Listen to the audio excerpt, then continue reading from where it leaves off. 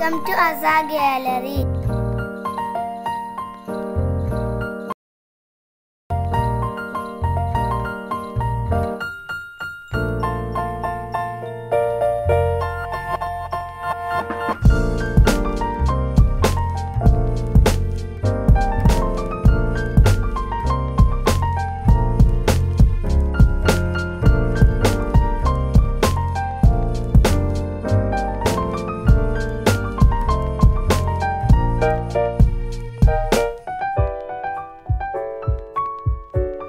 Please like, share and subscribe.